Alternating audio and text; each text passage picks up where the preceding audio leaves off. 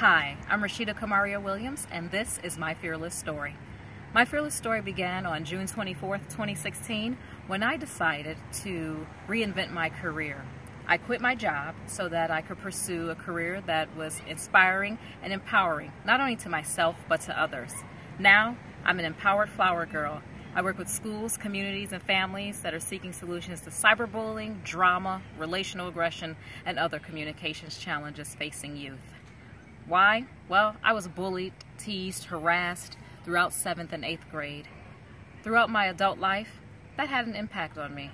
I thought about, you know, those times when I felt alone and I thought about the children who I knew that were suffering inside because they didn't feel fully self-expressed. I decided to become a mentor and take them under my wing and let them know that it was okay and that they were not alone. So when they were feeling fear, I could be a refuge for them and they could look up to me. So part of my fearless story is helping to empower others who are also facing fears.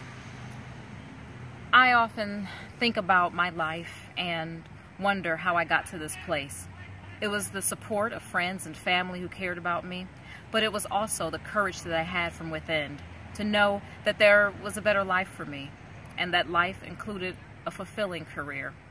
So my mantra now is to live today like there's no tomorrow because tomorrow isn't promised for anyone.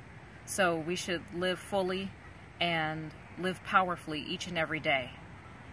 And that's my fearless story.